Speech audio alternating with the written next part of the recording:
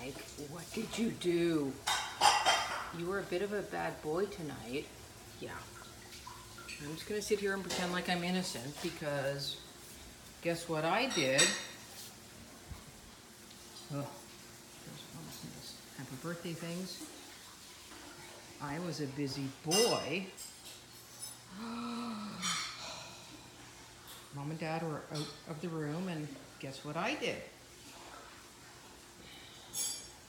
Yeah, that would be one of Mom's chive plants, which used to look like this.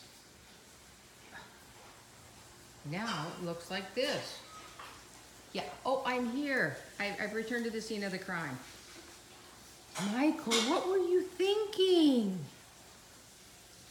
Mike, Mike, that's a lot of dirt. What are you. Buddy, come on. You don't do this. That's not so good. Now we've got to clean all of this up. You put dirt. We can't have chives. Mike. Mike, Mike, Mike, Mike, Mike. Michael. Can you sit? Can you sit, please? Oh, now you're a well-behaved dog. Returning to the scene of the crime.